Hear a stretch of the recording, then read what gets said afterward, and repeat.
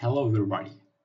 In this tutorial, I will show you how you can fix autorotation problem in Windows 10 after installing the, later, the latest app updates. So in my case, I used to have autorotation button in this uh, in the right of the screen and if you are new around here make sure to subscribe and turn on the bell let's get started so first thing first you have to come here to search bar and type rake edit. And run it as administrator. And then you, you came to the search bar here.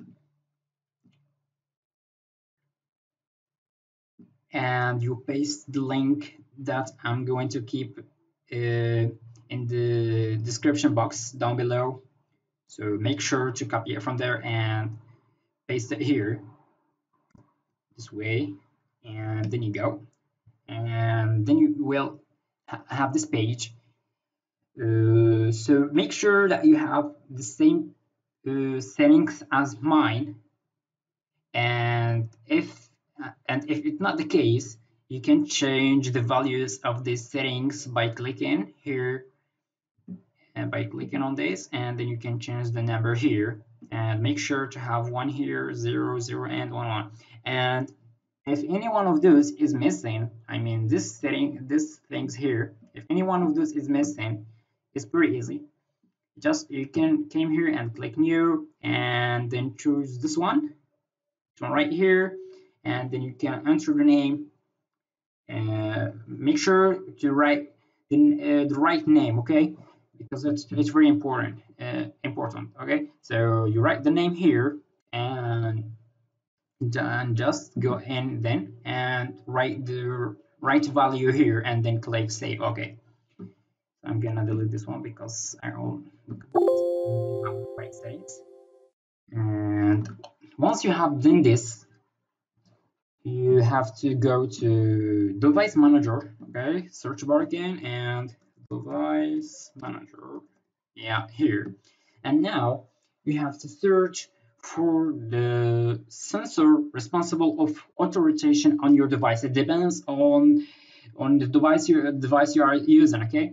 So if you if you are not sure uh, that you will update the right device so make sure to update a lot of many many many uh, many many devices you think that be responsible of this uh, of auto rotation. In my case, I didn't get to know uh, the right device. So what I did is like I came, for example, let's say here, where, where, where, yeah, I came here.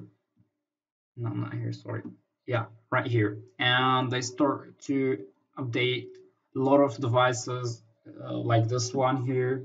Just I, I came here and I click update this one right here. I choose the first this the first one. And then you're just waiting to the update can be done. And when it's done uh, you go and up update the other one that you think it might be it could be responsible of auto rotation just go and search here in device manager if if the device responsible of auto rotation is not is not clear for you okay you can just in here and update it. And once you've done this you have to restart your device. And once you start your device uh, you will find that the, the button of auto rotation appears here if it, if it doesn't before and it will work okay i'm gonna switch on tablet mode uh, i'm gonna unplug my keyboard and, see guys it's working i know it looks not the screen uh, of recording. I don't know why, but real one here, it looks pretty awesome. So this one was the tutorial.